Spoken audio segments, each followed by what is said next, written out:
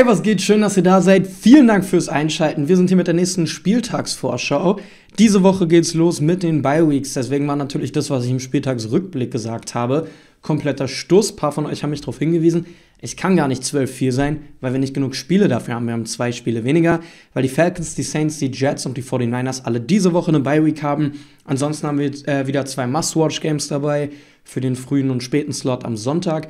Wir haben wieder ein London-Spiel dabei ähm, und wir haben natürlich auch einen Lock der Woche, wo ich Geld theoretisch spenden müsste. Und zwar alles Geld, was dieses Video hier einnimmt, ähm, falls ich mich dem Spiel vertippe. Deswegen bleibt am Start. Nachher gibt es höchstwahrscheinlich das Video, wo ich alles erkläre zur Bewerbung zur Community Franchise. Heißt, falls ihr Bock drauf habt, guckt euch das Video nachher an. Wie gesagt, es kommt höchstwahrscheinlich nachher. Ganz eventuell kommt es erst morgen. Aber ich habe jetzt meine Admins am Start. Wir haben den Server eingerichtet, wir haben die Liga erstellt. Heißt, das Bewerbungsverfahren kann eröffnet werden. Und wie gesagt, es wird auch relativ kurz sein dieses Jahr. Ähm, 24 bis 48 Stunden. Also, ey. Übrigens, wenn ihr neu seid, abonniert, würde ich mich sehr darüber freuen. Wir versuchen bis Ende des Jahres auf 20.000 Abonnenten zu kommen. Und momentan die Prognosen sagen, es wird knapp. Also gebt dem Kanal eine Chance. Wenn es euch nicht gefällt, könnt ihr einfach wieder deabonnieren nach ein paar Tagen. Danke. Okay, wir fangen mit dem Spiel heute Nacht an. Wir haben die Buccaneers bei den Eagles. Buccaneers sind Favoriten, stehen 4-1, Eagles stehen 2-3, haben jetzt aber zuletzt gegen die Panthers gewonnen. Ähm, in einem defensiv geprägten Spiel. Und ich befürchte, dass dieses Spiel nicht wirklich defensiv geprägt sein kann. Ähm, das Positive für die Eagles ist, dass man sich eventuell ein, zwei Sachen abgucken kann, was die Patriots gemacht haben gegen die Buccaneers und es versuchen kann, so umzuformen, dass es mit dem eigenen Team funktioniert gegen Tom Brady. Allerdings hätten das die Dolphins auch machen können. Haben sie nicht und das wird Gründe haben.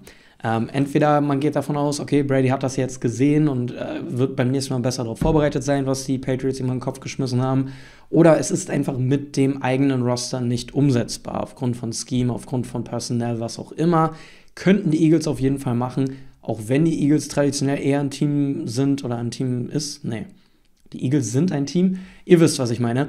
Ähm, die spielen auf jeden Fall normalerweise ihren Stiefel durch. So, die spielen ihre Defense, egal was der Gegner bringt. Die lassen sich davon nicht abbringen und richten sich quasi nicht nach dem Gegner, sondern sagen, wir spielen das, was wir gut können und hoffen dann, dass wir damit besser sind als das, was der Gegner gut macht, sozusagen.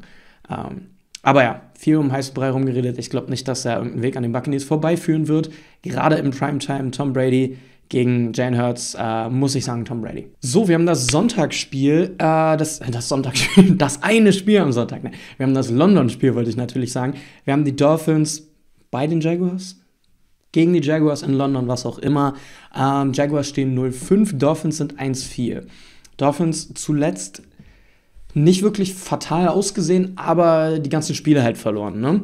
Die äh, Jaguars sahen eigentlich auch immer ganz gut aus in ihren Spielen, zumindest zuletzt. Trevor Lawrence ist definitiv auf dem Weg nach oben und die haben ihre Spiele auch verloren. Ähm, allerdings haben die Dolphins schon eins gewonnen, die Jaguars nicht. Vom Roster muss ich sagen, sind die Jaguars auch immer noch einen Ticken weiter hinter. Aber es ist erstens London.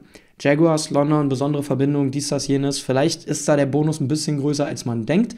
Gar nicht mal unbedingt von Fans, sondern einfach vom ganzen nach London fliegen und in London sein und so, weil der Owner da ja immer die Finger im Spiel hat, hier Khan. Deswegen, ähm, Moment mal, ist der Bürgermeister von London nicht auch Khan? Das ist ja witzig. Egal. Auf jeden Fall ähm, kann es sein, dass die Jaguars da einen kleinen Vorteil haben.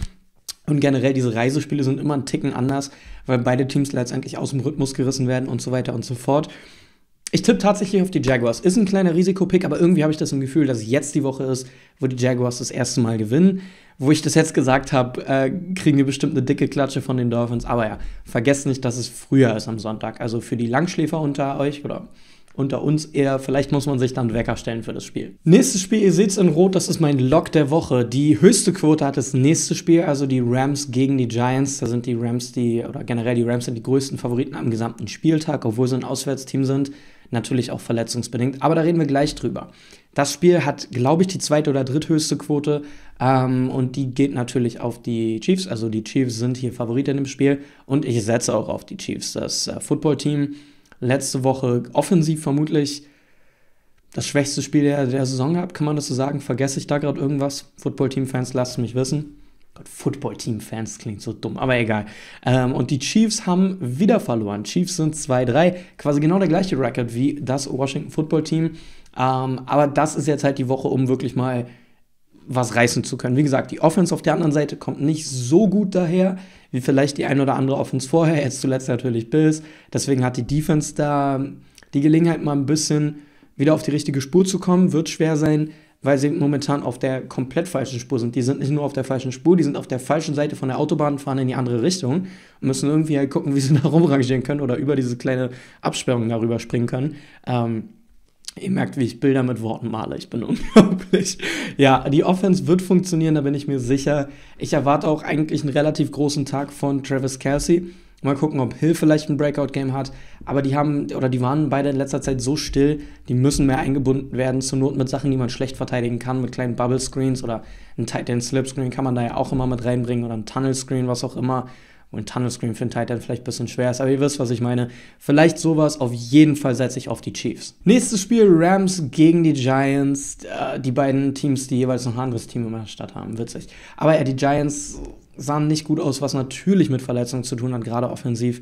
Ich glaube, auch das wird ein Tag sein, wo die Rams Defense mal wieder richtig gut aussehen kann. Es sei denn, Kadarius Tony und John Ross zerreißen die komplett in der Luft was interessanterweise auch möglich wäre.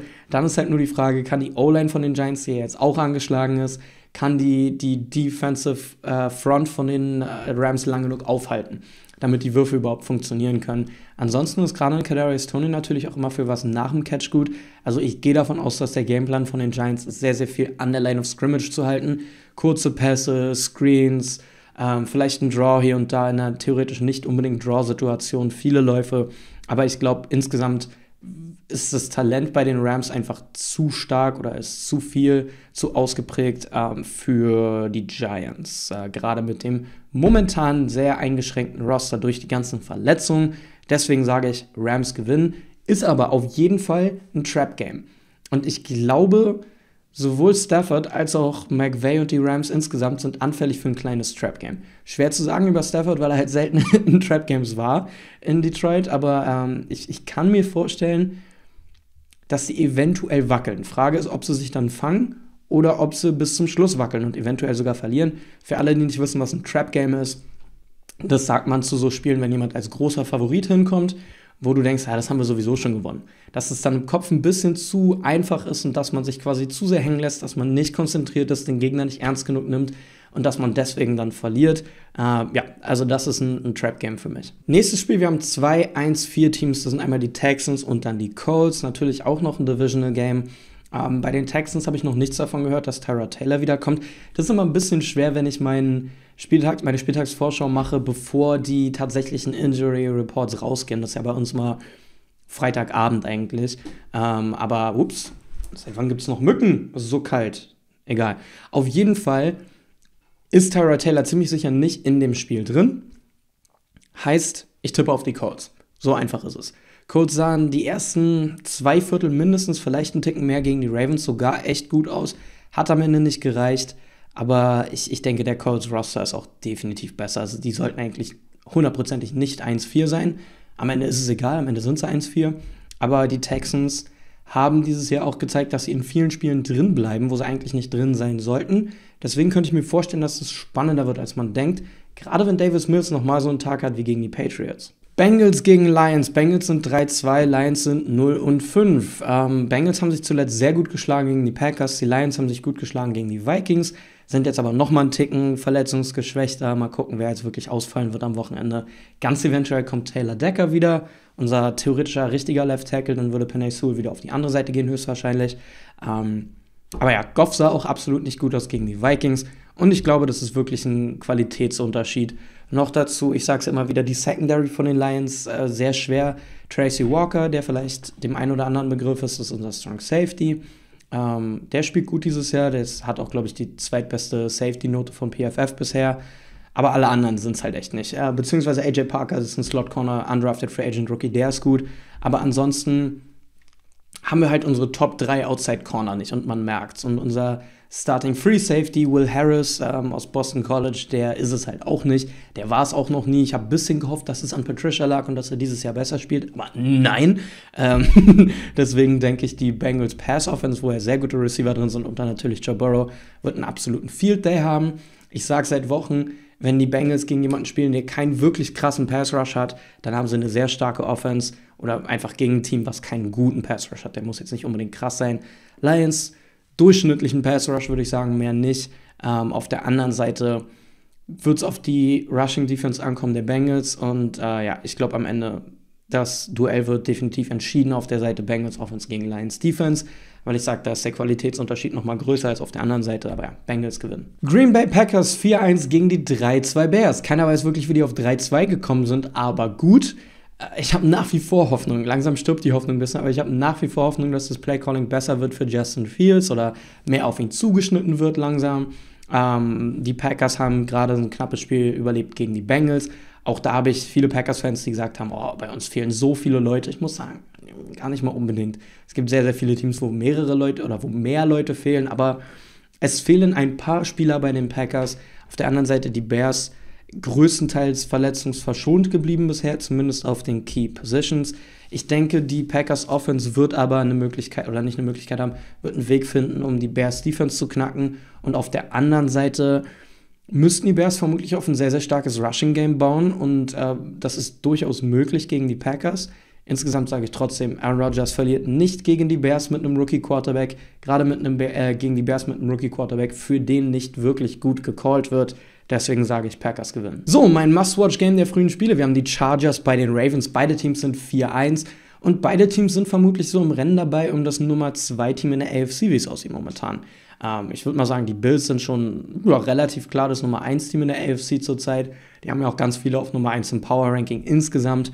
Und die Chargers sahen zuletzt sehr überzeugend aus. Ähm, gegen, die, gegen die Chiefs zum Beispiel, gegen die Ravens ähm, und ja, jetzt auch gegen die Browns.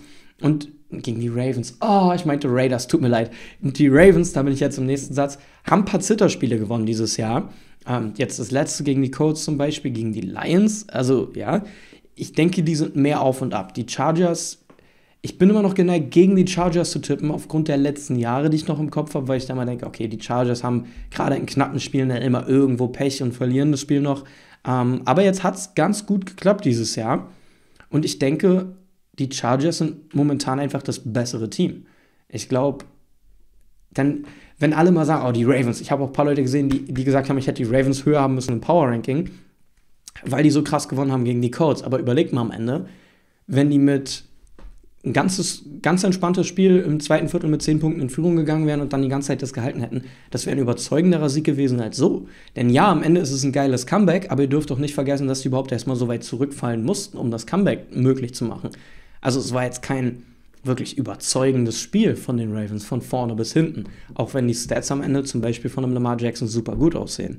Deswegen, ja, äh, Chargers haben mich mehr überzeugt die letzten Wochen. Ich tippe auf die Chargers. Nächstes Spiel, wir haben Vikings gegen Panthers und das ist auch interessant, weil es so Teams sind, die ich momentan am Rande vom Playoff-Rennen sehe. Die, ah, vielleicht kommt das eine rein und das andere so knapp nicht. Ähm, das sind jetzt aber beides keine Teams, wo ich sage, oh mein Gott, Alter, das ist eine absolute Macht in der NFC. Am Ende stehen halt auch die Vikings 2-3, die Panthers 3-2. Ihr seht, das sind beides um die 500er Teams. Beziehungsweise, wenn die Vikings das Spiel gewinnen, dann sind sie beide danach exakt 500er Teams. 500 übrigens hat mich auch letztens jemand gefragt. Ähm, das ist eine ganz komische Art, eigentlich anzugeben, wie man steht, sozusagen. Wenn du jedes Spiel gewinnst, dann hast du theoretisch 1,0. Und dadurch, dass du die Kommastellen immer als, als Hunderterzahlen lesen, wärst du dann quasi auf 1000. Wenn du die Hälfte deiner Spiele gewinnst, dann bist du bei 0,5 Quote und dadurch, dass da hinten noch die zwei Nullen drankommen, weil sie immer drei Stellen nach dem Komma angeben, bist du quasi 500. Weißt du, wenn du ein Viertel deiner Spiele gewinnst, bist du bei 0,25 0, das heißt, du bist bei 250. Also ja, das ist ein 500er-Team. Das Einzige, was genau die Hälfte der Spiele gewinnt und Hälfte der Spiele verliert. Da sind beide gerade ungefähr dran. Theoretisch, wenn ich mir nur den Roster angucke, egal ob Devin Cook spielt oder nicht, egal ob CMC spielt oder nicht, würde ich sagen, okay, die Vikings haben den besseren Roster. Die Panthers haben mich aber, obwohl sie die letzten beiden Spiele verloren haben, über die Saison mehr überzeugt. Deswegen tippe ich am Ende auf die Panthers, denn was die Vikings letzte Woche gegen die Lions gemacht haben, war wirklich wieder nicht sehr gut. Panthers gewinnen ein knappes, vermutlich defensiv geprägtes Spiel. Nächstes Spiel ist mein Must-Watch-Game der späten Spiele und es fängt, glaube ich, schon kurz nach 10 an. Also da sind die anderen Spiele, äh, die anderen, hu, die anderen Spiele gerade am Auslaufen meistens noch, oder zumindest ein paar davon. Also haltet das im Auge. Falls ihr das Spiel von Anfang an gucken wollt, dann dürft ihr nicht darauf warten, dass die anderen Spiele auslaufen, weil es meistens sich ein bisschen überschneidet. So, wir haben die Cardinals bei den Browns. Cardinals sind 5-0, Browns sind 3-2. Trotzdem denke ich, dass es ein Spiel absolut auf Augenhöhe sein wird. Gerade wenn die Browns Defense sich wieder ein bisschen fängt, wenn nicht so überrannt wird wie gegen die Chargers. Ich bin mir sicher, die Cardinals werden sich angucken, was die Chargers gemacht haben. Ich bin mir aber auch sicher, die Browns werden sich ihre eigene Defense angucken und sehen, ups, wenn das nochmal passiert, was können wir anders machen? Denn jetzt haben sie halt ein bisschen mehr Zeit, als nur während des Spiels zu gucken, was sie ändern können, sondern hatten die Woche dazwischen auch noch Zeit. So, ich mag eigentlich, wie die Cardinals spielen. Aber ich habe jetzt inzwischen schon so ein paar pessimistische Cardinals-Fans gesehen, die gesagt haben, ja gut, wir sind halt 5-0, so wir sind das einzige ungeschlagene Team, aber ein paar von den Siegen waren echt nicht so überzeugend. Gehe ich absolut mit, aber ich bleibe auch nach wie vor dabei. Ein Qualitätsmerkmal von guten Teams ist, dass sie selbst die schlechten Spiele trotzdem noch irgendwie gewinnen. So, klar, wenn ihr oder wenn eins der schlechten Spiele der Cardinals gegen die Rams zum Beispiel gekommen wäre, hätte man das vermutlich nicht gewonnen. Statt wenn eins der schlechten Spiele gegen die 49ers oder gegen die Vikings kommt, da kann man dann halt noch gewinnen. Ne? Aber juckt nicht. Am Ende sind sie 5-0. So. Das heißt, selbst wenn sie jetzt 50-50 gehen mit den restlichen Spielen, vermutlich Playoffs ziemlich sicher drin. Ähm, und die Browns sind 3-2, haben halt zwei Spiele verloren, die beide sehr, sehr knapp waren. Das heißt, die Browns sind knapp davon weg, 5-0 zu sein, die Cardinals sind knapp davon weg, 3-2 zu sein zum Beispiel. Deswegen denke ich, die Records gerade so früh in der Saison sind nicht immer so aussagekräftig, wie man vielleicht denkt. Ich tippe auf die Browns, weil ich davon ausgehe, dass die Cardinals das Running Game der Browns nicht oder zumindest nicht konstant unter Kontrolle haben werden. Und dann sage ich, die Browns gewinnen das Spiel. Raiders at Broncos, das wird ein super interessantes Spiel, denn ich habe äh, gestern schon drüber geredet im Power Ranking. Ich gehe davon aus, dass Derek Carr jetzt mehr Aussage hat über die Offense, mehr entscheiden kann, okay, was für ein Play callen wir in der Situation, mehr generell Freiheit haben wird, an der Line of Scrimmage sich noch zu entscheiden.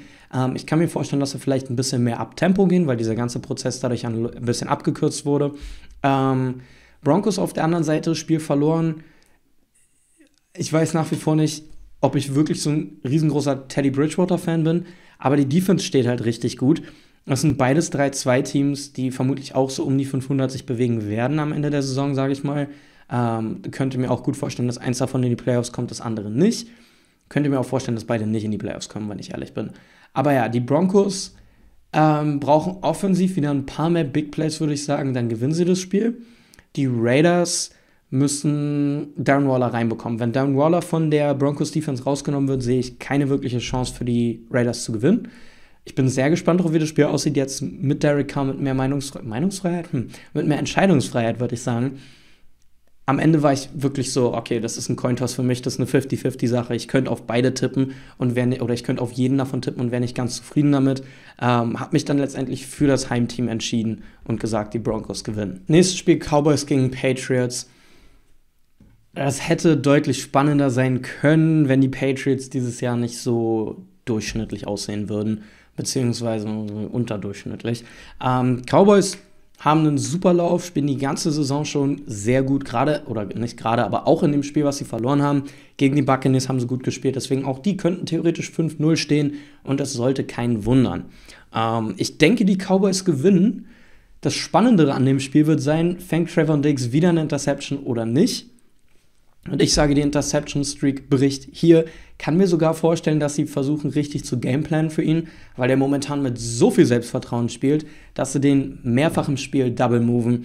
Ähm, und ja, mal gucken, was dabei rauskommt. Bin super gespannt drauf. Am Ende fängt er jetzt wieder zwei Picks in dem Spiel oder so. Aber ja, da bin ich gespannt drauf. Auch nach wie vor gespannt drauf zu sehen, wie Mac Jones sich schlägt. Bisher gefällt mir das gut, was er macht.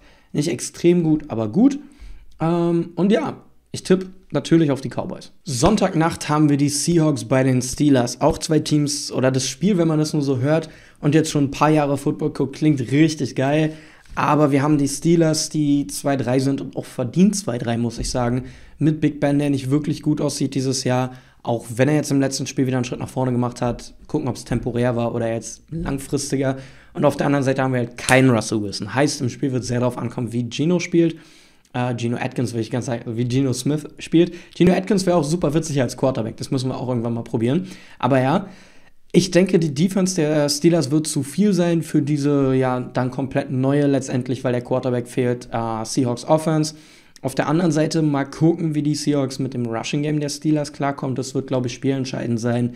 Ich denke, Najee Harris hat einen dicken Tag. Ich denke, die Steelers Defense hat einen richtig dicken Tag. Und ich sage, die Steelers gewinnen. Montagnacht haben wir ein cooles Spiel. Wir haben die Bills bei den Titans. Ähm, das habe ich zuerst mitgekriegt, als ich glaube, ein Zitat gepostet wurde von Mike Vrabel oder so. Wo er meinte, ja, das war der, der beste 5-Yard-Lauf in der Geschichte der NFL. Und ein Bild dazu mit dem Stiffarm von Derrick Henry gegen Josh Norman, als er noch bei den Bills war. Aber gut, wir äh, reden mal nicht darüber. Letztendlich ist auch egal, ob Derrick Henry ein dickes Spiel hat oder nicht. Die Bills sind momentan richtig am Rollen. Die Bills haben nach der ersten Niederlage gegen die Steelers nur noch fantastisch gespielt. Offensiv, defensiv auch große Schritte nach vorne gemacht. Und ich denke, es ist zu viel für die Titans. Ich denke, Josh Allen wird einen richtig dicken Tag durch die Luft haben. Ich kann mir vorstellen, dass die Titans das gegen die Chiefs gesehen haben und gesagt haben, wenn er passt, wenn sie uns passend, passend schlagen, hm, ihr wisst, was ich meine, wenn sie uns durch die Luft schlagen, so ist es, aber wir lassen Josh Allen definitiv diese ganzen Design-Quarterback-Läufe und Reads und was weiß ich nicht ausspielen. Wir lassen ihn nicht scramblen, wir behalten ihn in der Pocket. Kann ich mir vorstellen, dass das eine Priorität wäre. Es wäre nämlich definitiv eine von mir, falls ich jetzt diese Saison in dieser Woche nur Defensive Coordinator von den Titans wäre. Aber ich glaube, wie gesagt, die Receiver von den Bills, beziehungsweise das Scheme, Passing Scheme von den Bills, gewinnt gegen die Defense von den Titans. Und äh, ja, deswegen sage ich, die Bills gewinnen das Spiel. Mal gucken, wie knapp es wird die Chance für die Titans ist, Derrick Henry die ganze Zeit richtig drin zu haben im Spiel, von Anfang bis Ende, mit irgendwie 30, 40 Carries. Ähm, aber ja, sehe ich nicht kommen. Alles klar, das war's mit dem Video. Hoffe sehr, dass es euch gefallen hat. Wenn ja, würde ich mich freuen, falls ihr ein Like da lasst, wenn ihr neu seid, nichts mehr verpassen wollt in Zukunft. Dann abonniert einfach und ich hoffe, wir sehen uns alle im nächsten Video wieder. Bis dann. Ciao.